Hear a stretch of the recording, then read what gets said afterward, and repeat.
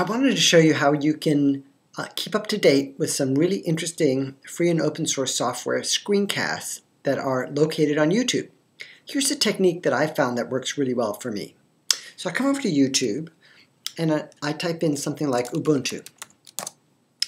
And I'm not interested in all of the Ubuntu uh, screencasts here on YouTube. I just want the ones from today or from this week. So I click on Search Options and I come over to today. And this lists all the different Ubuntu videos from today. So, some of the, and I think there's 88 of them.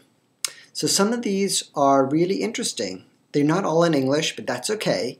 Sometimes you should look at stuff from other languages. You might even learn something, even if you don't understand the language. It's kind of interesting to look at them.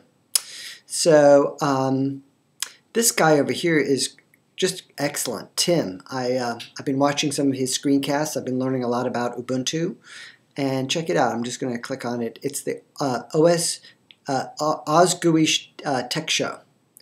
So he's explaining about FileZilla over here. I'm going to click on it.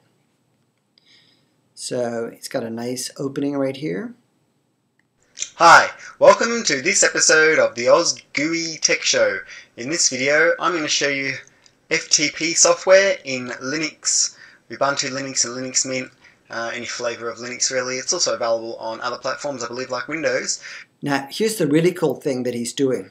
He's using this free software called Cheese, and he uses free software called Record My Desktop. And he's doing the same thing that I'm doing. I'm on a Mac right now using ScreenFlow, which costs $99. So he's using all free software and he's doing a great job of it. Now, suppose I want to be able to monitor the new Ubuntu screencasts on YouTube with a minimal of effort. Like I don't want to type in Ubuntu every day when I come by here. So let me show you what I do.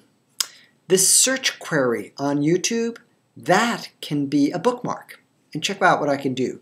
I can go bookmarks, um, bookmark this page, and I'm going to put it into my bookmark toolbar and I'm going to call it over here something nice and short. So Ubuntu today, I'm going to put UBTY or UBTDY, okay? And I'm going to click Done. And you see right here, whenever I click that, it's automatically going to come right here and show me all the new Ubuntu screencasts from today.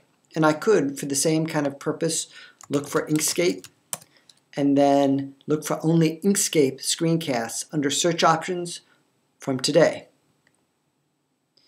And there are lots of very, very interesting Inkscape screencasts on, uh, on YouTube. You could learn a lot about Inkscape right here on YouTube. And then um, some of the big excitement these days is uh, Lubuntu. So Lubuntu is a lightweight Ubuntu that's coming out soon and you could run it like on a 128 megabyte old computer. And so I could see if I can find some Lubuntu stuff and some Lubuntu screencasts. And I see a lot of Xubuntus, but um, I don't see a lot of Lubuntu.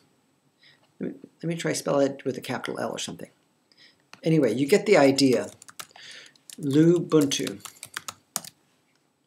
Here it is, Lubuntu. So, oh, this guy is excellent. I was just watching him today. Resurrect your very old computer with Lubuntu. Hello, YouTube. How are you doing today? Hope you're doing swell. Well, this video, I'd like to start off by talking about uh, Microsoft Vista. Just anyway, uh, when you come across somebody like this who's really good at explaining, you click subscribe. And then, uh, not only does uh, uh, not only can you watch this person's videos just by searching for the new videos they make, but YouTube will um, uh, list them as one of your subscribed videos. And YouTube, if you favorite this video, YouTube will know that you like Ubuntu or Lubuntu style videos and it will show you other ones. So one of the reasons people like YouTube is that the recommendation engine is very good. As soon as you start indicating your tastes, uh, YouTube will record those tastes or uh, at least keep it in mind when it recommends stuff. Lastly, I want to just explain that maybe you don't want to even go to the effort of coming to YouTube to be informed about new um, Ubuntu or other kinds of free software, say you want to come over here and you're searching here uh, for the ones from today. Say you don't even want to come here for this effort and that you'd like this all to come to your mailbox. Well, there is a way of taking a YouTube search and making an RSS feed out of it. I'm not going to show you right here, but there's a way of doing that. And then, let me do um, a new tab. Then we go to Feed My Inbox.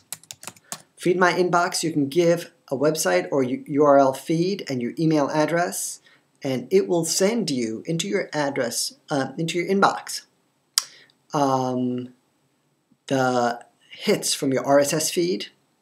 Um, and that's a way where, with minimal effort on your part, you can keep track of new videos of any kind. It doesn't always have to be free and open source software.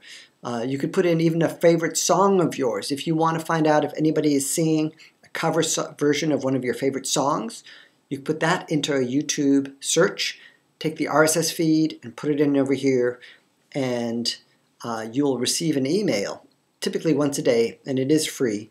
Um, it's free for their once a day service, and if you want their live service, you can pay them a little money. Anyway, this is Phil Shapiro. I hope you learned a couple new tips here today.